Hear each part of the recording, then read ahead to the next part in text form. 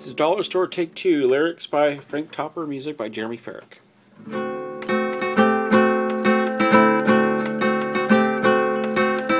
I took my date to the dollar store. Brought her whatever she wanted. Fashion accessories, arts and crafts, health and beauty products. Back to school and summer fun. Let's get some laundry detergent. All happening at the dollar store. And none of it is urgent. I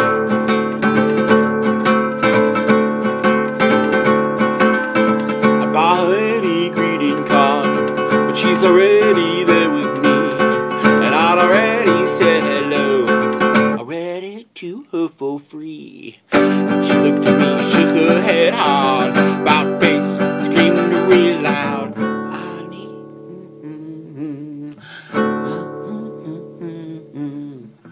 help women realize they need to focus on their lives, who they don't want to be. They need to get their degree. Oh, they get from me what few men can give, knowing how they don't want to live. Huh, huh.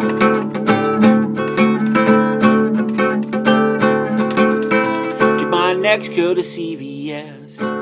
Had two for one coupons in hand. Her pick what she might need. Using the coupon plan. Suggest you get the safety scissors. Silver ones that were rounded more.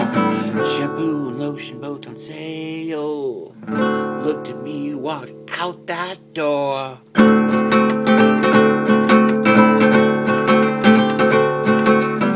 She looked at me and smacked my head hard. About faced, screamed real loud.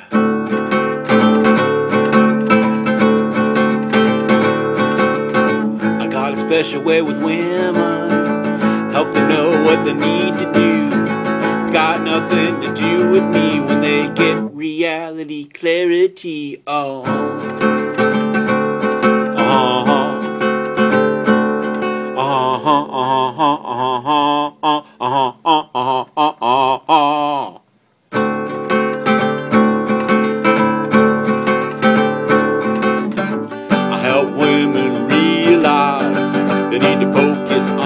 class who they do not want to be. They need to go get their degree. They get from me what human can give, knowing how they don't want to live. Uh -huh, uh -huh, uh -huh, I took my baby to the dollar store.